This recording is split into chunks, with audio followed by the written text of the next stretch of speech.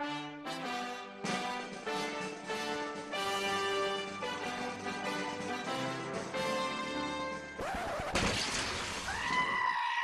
dear God. Ready? Hello, loves. Your friendly Texas-based Anglophile here with another installment in our food category for Americans who love Britain. I told you in the last video that I really, really love uh, everything Britain when it comes to the holiday period, and we've got a great recipe for you today. It is a recipe that I'm calling the ultimate Christmas trifle. Little story behind this recipe. Um, when I was uh, five years as editor of the BBC Insider, I used to print recipes around the October November time period so people who wanted to make traditional British fare for the holidays, I would print four or five recipes. And during that five years, this recipe for this ultimate Christmas trifle uh, was the number one requested recipe of all the readership of PBS stations across the country. A little story behind this recipe, I actually stole it from one of my favorite people. She's not only one of my favorite people, she is my favorite Canadian. And joining me now is Annette Love. Hi Annette, good to see you. Thanks for being Hi, here to do this. I'm so happy she volunteered to do this. You know, I put it out on uh, Facebook. I didn't volunteer. You did. me in. You did. You did. No, she didn't. She was recruited. Well, she kind of hinted that she might ought to be involved in the video, just like as an idea. And I said, oh, hell yeah. So here we go. But uh, before we get started, I'm going to run you through the ingredients. And as usual, I'll have the ingredients as we talk about them at the bottom of the screen, but also down in the description. I'll also have a link for a printable version uh, of the uh, of the recipe. So, but we got to start this in the uh, tradition of uh, the finest uh, British cooks. You know, guys, I always have to have our favorite bevy before we get started. And for those of you that don't know, bevy is English slang for uh, your favorite cocktail. So today, I did champagne on the Yorkshire puddings. Today, I've chosen Jose Cuervo. By the way, we're taping this kind of a early on a Saturday, so you know I think even British cooks would take a shot even before the pubs open, don't you? Oh, definitely. So I'm going to take uh, some of this blue agave tequila here, and I've got one for you already poured. And now, here uh, where we're from, we're, we're both in Texas. We don't sip tequila, uh, we neck it, which is uh, British slang. Neck it is British slang for taking a shot. So salute, cheers. Cheers.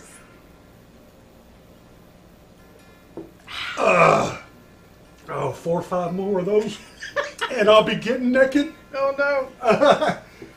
You've kind of been there for that, haven't Oh you? no. Yes. All right, I want to run you through our ingredients real quick, and then I'm going to hand it over to Annette to tell you how to assemble it.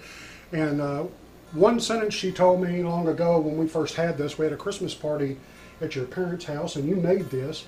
The longer it sits, the better it gets. It's like lasagna. It's like a good casserole. It's like chili.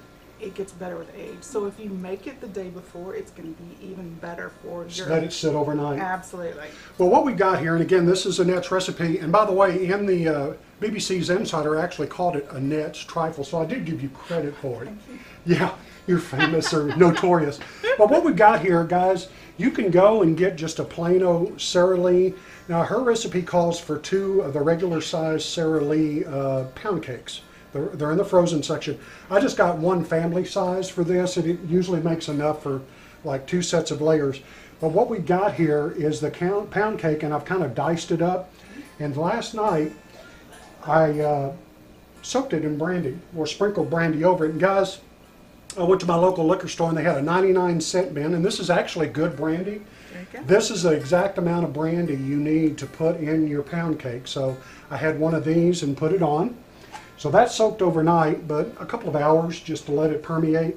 We've got uh, strawberries and raspberries and walnuts for our fruit and nut section. That's right. that, that kind of fits me, right? Right. But uh, you can use blueberries and all that, and, and Annette's going to talk to you about variants on all of this. But uh, I chose strawberries, ra- raspberries, um, uh, walnuts, and then the best part of all to me in this particular trifle recipe is we have white chocolate uh, jello uh, pudding It, I, I use instant. Now her recipe calls for two cups of each, but I never, I think you can never have too much. So I made three cups of each just to have extra. You know, it depends on the size of your trifle We bowl might too. need a snack before Yeah, we we might started. need, after this is over, we may need some sustenance. I think that tequila's already going Oh, in my head. But anyway, uh, white chocolate pudding and regular chocolate pudding, the large box. Uh, I, I had to do two small boxes of this because they don't make the large box. And then, of course, your whipped cream. But those are the basic ingredients. No cooking really, because I used instant on the pudding. But I'm going to have Annette talk to you about it, uh, the variants on it, and have her put it together for you. But I will tell you, it makes a beautiful dish. People will think that you are the chef de cuisine when you look at this thing and put it on your table. It's completely impressive. So I'm going to turn it over to you, Annette. Well, let's start with what you put trifle in. And typically it goes in a trifle bowl. And they typically look like this. They're usually on a pedestal. They're usually crystal of some sort. And they're always a clear glass because we eat with our eyes first. And the whole beautiful presentation about trifles, you get to see all the layers of yumminess that are in the dish. So it's a great investment if you don't have one yet. Go out to the store and get one. They're not that expensive. They're a dish that you can use for so many other things besides just trifles, salads, it, you know, berries, whatever. But it's a good investment, so look at a trifle bowl. But there's always other options. You don't have to use a trifle bowl. You can use a glass bowl that doesn't have a pedestal. Or if you have one of these sitting in your kitchen, which most of us do, guess what? You already have a trifle bowl, you just didn't know it yet. Turn it upside down. Put the dish in. Now that's a trifle. Pedestal trifle bowl. I double the ingredients, folks, for this one. But you know what? If For you have a party? big gathering, You're all set. You already have one. You bet. So you can use lots of different things. that's awesome. All right, let's talk about pound cake. If you're organic and you have your mama's favorite sour cream organic pound cake recipe, make it. It's fabulous. But for us hardworking mamas that don't have a lot of time to pre-bake a whole lot of things to make something, this works perfectly. And Sara Lee, Entenmann's, any of them are great. You can use whatever kind of liquor you want. You don't have to stick with just brandy. Where trifle came from, which means back in the day, of no consequence, it's inconsequential. Where trifle came from was a way to use leftovers. That's how the whole recipe came together. So it's a great way to use up things that are left over from the holidays or start from fresh. You can use brandy, you can use cognac, you Rum. can use port, you can use ice wine. Would you use rum in it? Heck yeah, if you like, um, absolutely. It's especially like whatever a- flavor you want. Absolutely. So the first thing we're going to do is we're going to start with the cake because we want to make a base in the bottom of the bowl. So we're going to start with a layer of cake. So just get a good layer in the bottom. The great thing about this is there's no wrong way to do trifle. If it's your recipe, it's your recipe and you can put it in any order that you want to. All right, next we're going to go to puddings and we're going to go and we're going to layer because you can already see the first layer on the bottom is cake, right? hmm So we're going to start going around the edge of the trifle with the white chocolate. Now here's something else I want to share with your viewers, Scott, that might just change their world. Do you love Bavarian cream? hmm Do you love Bavarian cream like I do? Well, here's the deal. Bavarian cream, to make it from scratch, is difficult, right? You separate eggs, you cook the custard on the stove, you gotta do all the extra steps, you gotta wait for it to cool before you can use it. Well, I'm gonna share with you a recipe right now where you can make something that is almost exactly like Bavarian cream with only three ingredients and it doesn't, it involves no cooking Wow. no cooking, and it only takes five minutes. Are you ready? Okay. You need two cups of heavy whipping cream. All right? That's always a good start. Absolutely, right? And then you need a large box of Jello instant vanilla pudding. Okay. Okay? And two to four tablespoons of regular milk. And I'll tell you where that comes in in just a minute. You're going to whip that cream until you have stiff peaks. hmm You're going to fold in the pudding you're going to add a tablespoon of milk at a time until you get the desired consistency that you want for whatever you're So the using it milk for. is kind of a thinning agent to just regulate consistency. Yeah, because if you're gonna stuff it into a cupcake or a profiterole, you want it pretty tight. Mhm. If you're gonna use it just on the top of something or something in a trifle like this, it can be pretty loose. Right. So that just, it's however you want it to be. So now we're laying berries, and then you have the berry and cream, and it took you just a few minutes. That It's would be fabulous. awesome. Just add Try it. it. You would you would add it to the recipe here. You wouldn't Yes. replace anything. No, I just add it, absolutely. Or if you want to, you can replace the white chocolate with the, the Bavarian cream. I think But- I'll drink to that. It's fabulous, fabulous, fabulous. All right, one more layer, guys, and we're gonna put in walnuts. Walnuts are in English and a Canadian nut. I'm sorry. I know in the South it's all about the pecans, but where we come from, it's not. It's Which- about the walnuts. Which you can use, right? Absolutely. You can use walnuts, you can use almonds. It, that's the great thing about trifle. There's no wrong way to make it. You can make it however you want. All right, let's go So for. we got the walnuts in. we got the walnuts. Now it's time to just do it all over again. Okay. Very easy. So we're gonna take our liquor soaked cake. All right. By the way, did you take a whiff of that? I hope I put enough in there. I, I snacked some already. Are you kidding me? this is the best part of the whole thing. Where, where else do you get liquor soaked cake and recipe? Right. Right? So here we go. That's awesome. All right, we got another layer of cake, and you can see it. It's fabulous. We'll show you a really good shot here in a minute. We're going to do the same thing. We're going to go back to the white chocolate pudding. I always start around the edge because that way I make sure that it's very pretty and it goes all the way around. What's left in the middle is fine. So, start with the edge. You burning your nose here? Is over there?